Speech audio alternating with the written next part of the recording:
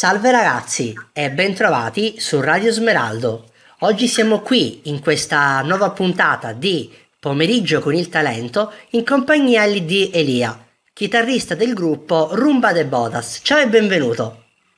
Ciao a tutti, ciao. Ciao. E trombettista, anzi soprattutto trombettista. Ottimo. Ok, come va? Tutto bene intanto? Molto bene, sì, siamo in una fase, mh, siamo molto impegnati sull'uscita del disco, però siamo molto contenti, sì, alla grande. Mm, ottimo, ok. E, e guarda, io comincerei da subito con le domande e la prima cosa che voglio chiederti è come nasce questo gruppo e come nasce il nome del gruppo. Ok, allora, eh, il gruppo nasce ormai dieci anni fa, Mhm. perché eh, quest'anno festeggiamo proprio il decennale. Mm, È un ottimo. gruppo nato all'interno dell'ambiente liceale bolognese. Mhm. Eh, alcuni ragazzi che avevano voglia di suonare, mh, ma anche avevano tantissimo voglia di, di fare avventure. Infatti il gruppo ha cominciato fin da subito a organizzarsi per, eh, per fare dei, dei viaggi, delle avventure, delle peregrinazioni in giro per l'Europa, Mhm. per suonare in strada o nei locali. Quindi ha, ha subito cercato questa vena nomade, insomma. Mhm. E tra l'altro io non c'ero neanche, io sono entrato quattro anni fa nella band Mhm. e all'epoca ci sono solo due persone delle sette attuali che fanno parte di quella stagione lì, quindi pensa quante, il progetto quanta strada ha fatto e quante persone sono cambiate. Sì, infatti. E abbiamo cambiato tre cantanti, eh, un batterista, io sono il terzo trombettista, è un Mhm. collettivo in divenire, diciamo. Mm. Capito. negli ultimi due anni c'è un po' di stabilità, per fortuna. Mm. Il nome invece, niente, mh, non mi ricordo neanche chi l'ha scelto, noi praticamente abbiamo questa eredità, perché non, la- non l'abbiamo scelto, però ci piace. e Rumba de Moda vuol dire la rumba, che in Mhm. bolognese vuol dire anche il casino, il, Sì. il- la, la festa Mhm. eh, del matrimonio, eh, rum, de bodas, eh, il matrimonio in spagnolo. Eh, perché? Perché nei matrimoni eh, sono quelle situazioni in cui si creano le situazioni un po' di delirio che cerchiamo nei nostri concerti, quando tutti i parenti sono ubriachi e ballano qualsiasi cosa, l'euforia che crea la musica, insomma. Eh, a noi ci piace molto quella situazione lì, è quella che ricerchiamo con il nostro spettacolo. Ho capito, ottimo. Senti, ehm, c'è un eh, genere in cui vi eh, rappresentate principalmente? Ma eh, la nostra particolarità in realtà è proprio quella di non avere un, un genere di riferimento. Sì, ho visto. Eh, diciamo che la, la formula eh, è quella di uno show che si Mhm. esprime molto bene dal vivo e quindi mh, come un po' le vecchie orchestre da balera che per fare ballare tutti passavano dal lento al rock and roll al cia cia cia a noi Mhm. piace un po' que- que- questa idea nostalgica di fare una scaletta varia che si passa dalla cumbia al funk Mhm. eh, passando per un brano ska e, e, mh, e quindi portiamo avanti questa questa, questa formula qua che forse è anche un po' controcorrente oggigiorno, però a quanto pare per il momento funziona.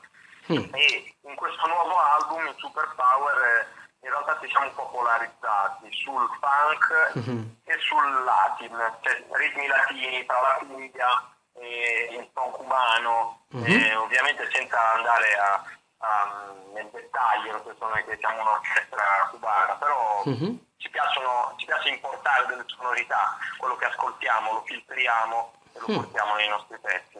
Mm, ho capito, ottimo. E senti, e parliamo proprio di, di questo album, eh, sul, eh, Superpower.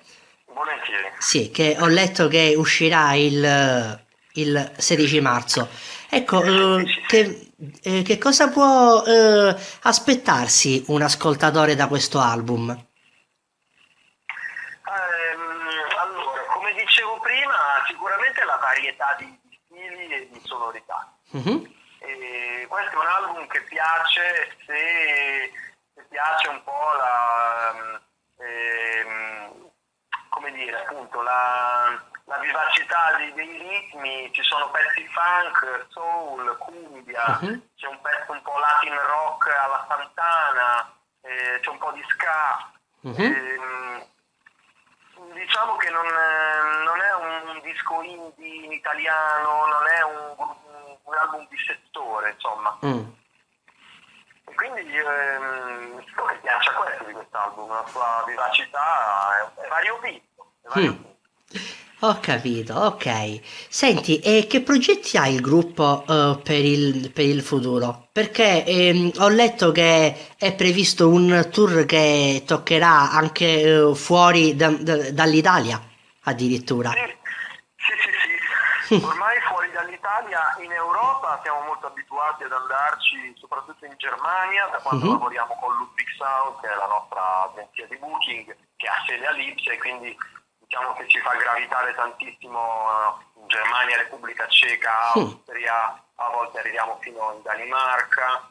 Poi abbiamo una, una, grande tradizione con l'Inghilterra e la Scozia, perché sono due paesi in cui avevamo già cominciato ad andare a suonare, anche quando semplicemente suonavamo in strada, avevamo un furgone, noi diciamo, andiamo in Inghilterra a passare l'estate a suonare nelle piazze, poi là ci sono i festival, avevamo cominciato um, trovare qualche festival che ci aveva ingaggiato low budget a suonare nei gazebo praticamente di festival e, sì. e, quindi diciamo che torneremo con un tour un po' più strutturato eh, in, in, Inghilterra, in Scozia in luglio saremo ospiti per dieci giorni dell'Edinburgh Jazz Festival mm. e poi andiamo in Germania un po' tutti i mesi, ormai la Germania passare il Brennero per noi è, insomma, è andare un attimo dietro casa. e, ehm, e, poi la grande novità di quest'anno, per la quale siamo veramente entusiasti, è il viaggio in Corea.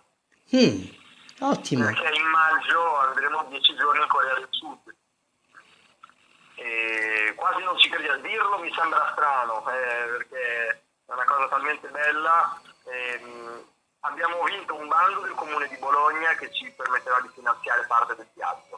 Mm-hmm. Poi c'è una partnership con eh, l'Istituto Italiano di Cultura Italiana di Seoul mm-hmm. e, e, saremo, e, quindi siamo riusciti ad organizzare questo tour, eh, suoneremo alla Seoul Music Week, mm-hmm. poi avremo altri 4 o 5 concerti, mm. e quindi un, un debutto per Superpower veramente incredibile. Eh beh, posso, posso immaginare. Sì, sì, siamo molto contenti. Sì, infatti. Ok, allora guarda, noi ti ringraziamo intanto per essere stato qui con noi. Grazie a voi ragazzi. Grazie a te, guarda, per me è stato un eh, piacere poter eh, parlare con te e tutta la radio augura il meglio a te e a tutta la band per la vostra carriera. Grazie mille e buona continuazione. Grazie mille a te Elia, ciao alla prossima. Ciao, alla prossima. Un'altra puntata di pomeriggio con il talento è giunta al termine. Vi ricordo come sempre di continuare a seguirci, di iscrivervi al nostro canale YouTube Radio Smeraldo e continuate a seguirci su Facebook e su Instagram per rimanere sempre aggiornati su nuove interviste e nuovi eventi. Io vi aspetto come sempre alla prossima puntata, un saluto a tutti voi e ciao ciao!